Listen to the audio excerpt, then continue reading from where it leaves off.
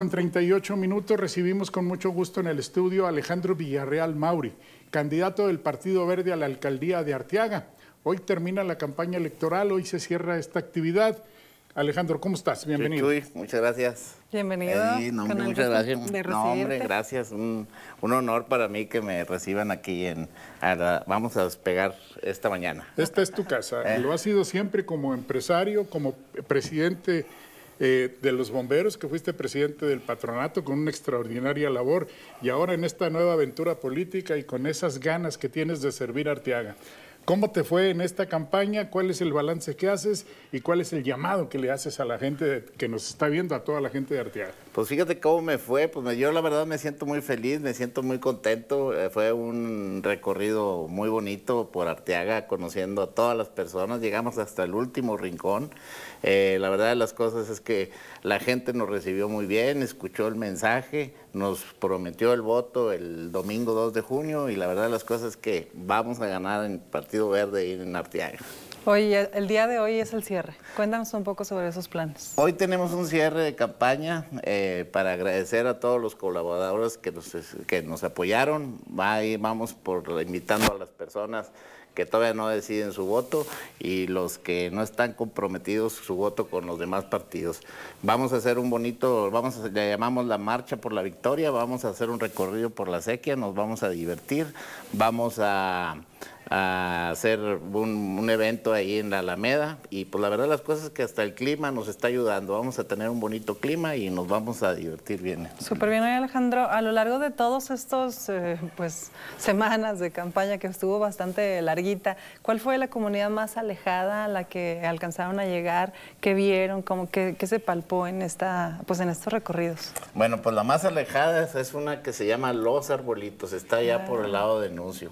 Fuimos a visitar nada más a una sola persona con, Wow. con un niño que tiene ahí y fuimos eh, por un recorrido. Es todo Eh, el cañón de Jamé hasta el esto- fondo. Todo el cañón de Jamé hasta allá. Este, la, la- la más lejana eh, se llama el arbolito, pero la más difícil de acceso es- se llama los arbolitos. Ok. Eh, pero pues es un recorrido, pues nosotros disfrutamos mucho la campaña.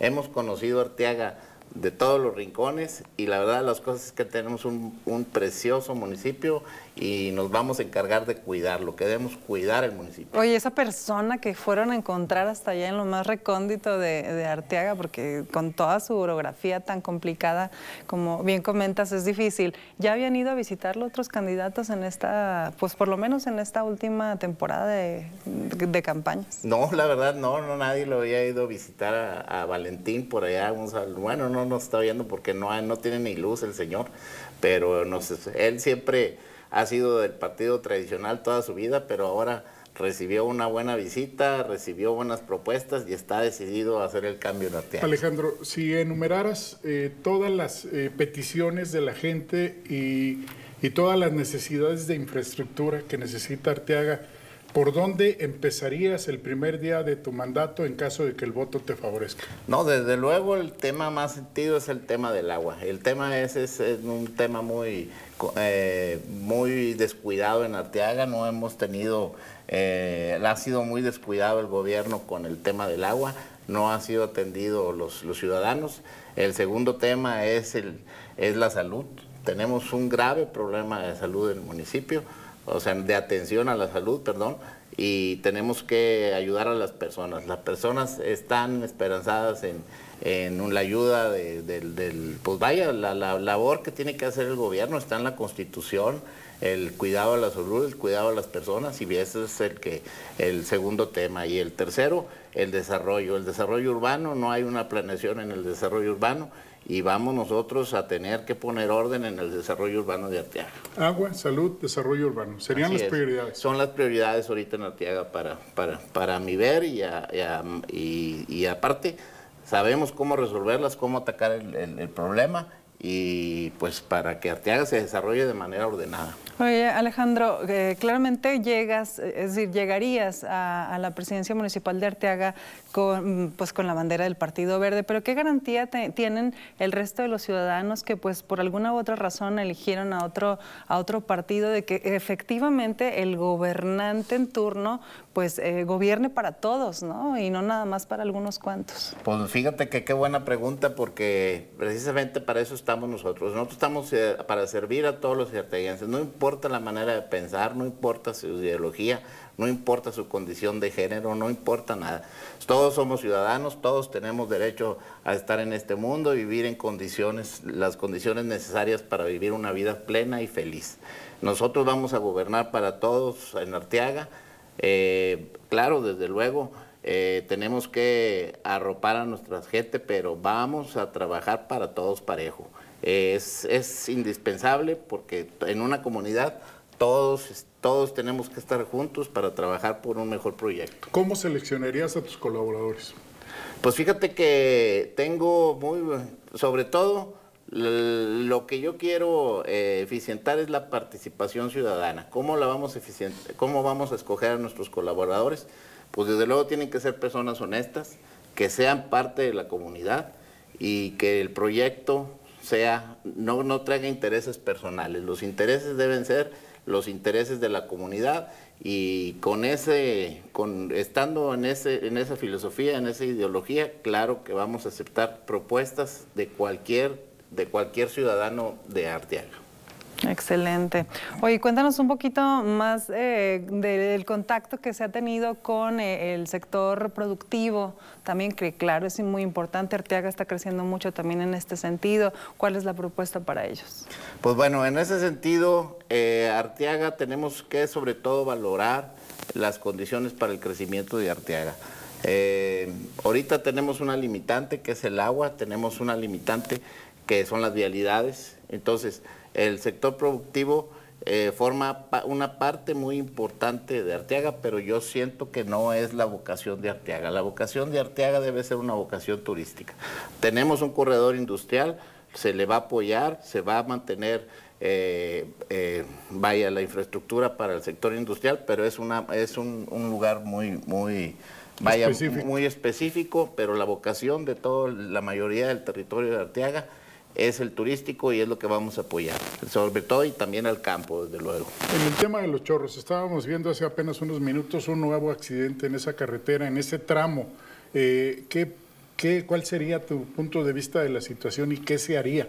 Para eh, tratar de solucionar ese grave problema. Pues ya vi ahorita cómo van a estar eh, haciendo ya su carne asada la familia Durán ahí con la carne esa que se, que se cambió. Eh, este, pero es un tema muy importante que tenemos que ver. Cuando el municipio de Arteaga no tiene una carretera que le dé servicio. Dependemos de la carretera 57 cuando hay un accidente se bloquea completamente la comunicación de Arteaga. todo se detiene. Todo se detiene. Eh, de hecho, pues tenemos, ha habido muchas desgracias porque gente que no llega al hospital o porque tiene compromisos, etcétera. Entonces se bloquea completamente. Nosotros vamos a exigirle al gobierno federal que ponga una vía alterna solamente para el municipio. Es una vergüenza que eh, ahí se esté haciendo un negocio con esa carretera y Arteaga totalmente incomunicado cuando hay esta clase de accidentes. desde luego, ya lo, eso ya lo prometió la doctora Claudia Scheumann, que va a ampliar la carretera 57, pero independientemente de eso, nosotros tenemos, eh, vamos a exigir la vialidad necesaria para no que no se interrumpa la comunicación de Arteaga por a causa de, ese, de los percances que hay cada vez y siempre son en el mismo lugar, el kilómetro 232 y el 231. Es ahí donde sucede siempre este tipo de accidentes. Así es. Eh, Alejandro, Arteaga requiere, ahorita lo mencionabas, eh, de que no lleguen los heridos, no llegan con vida porque pierde, se pierde muchísimo tiempo. Arteaga no tiene un área de urgencias, no tiene un hospital. ¿Cuál sería la exigencia al gobierno federal? Pues desde luego eso, mira, en Arteaga somos más de 30 mil habitantes que y no, no tenemos una sola cama de hospital en Arteaga. Ese es un problema de un descuido tremendo una clínica, un, un, hospital como debe ser, pues es demasiado costoso. representa una inversión muy grande y sobre todo la operación de un hospital, los médicos especialistas, enfermeras, tratamientos, todo eso es muy caro. No está en manos del municipio. Pero el municipio sí está en manos poner la infraestructura necesaria. Nosotros vamos a, dar un buen, un buen pedazo de terreno, le vamos a poner pavimento, le vamos a poner agua, le vamos a poner drenaje, le vamos a poner todos los servicios y vamos a exigir a los dos órdenes de gobierno superiores, que es el gobierno del Estado y al gobierno federal, que aporten su parte porque no puede estar Arteaga en esas condiciones. La verdad de las cosas es que la gente eh, que yo he visitado, cuando tienen un problema con, con un familiar, con un ser querido, oye, pues tienen que dejar la camioneta empeñada, tienen que dejar su casa, tienen que dejar todo, se pierde todo y, eso no les permite salir adelante. Cualquier enfermedad, cualquier problema que tienen, se regresan otra vez a un principio y eso no es justo que, pase. Que siga sucediendo. Así es. Alejandro, ya traes ahí, ¿qué traes por ahí? Que te veo como los candidatos en, pleno, debate, que nos vas a salir con una sorpresa ahí. No, pues mira, pues les traigo este, la boleta electoral. Esta va a ser la boleta para la alcaldía de Arteaga. Ok. Y pues bueno, quiero que se fijen bien, porque yo quiero que tachen aquí. Quiero que tachen todo verde, que vean eh, la mejor opción para Arteaga. Es Alejandro Villarreal, es el Partido Verde Ecologista, es el partido que va a ganar, soy el candidato que trae mejores propuestas, soy el candidato que más quiere Arteaga, soy el candidato que sé cómo resolver los problemas de Arteaga y pues adelante, nomás vamos a esperar la, reacción, la respuesta de las personas este, este domingo 2 de junio. La verdadera encuesta es el domingo 2 de junio. Todos a votar.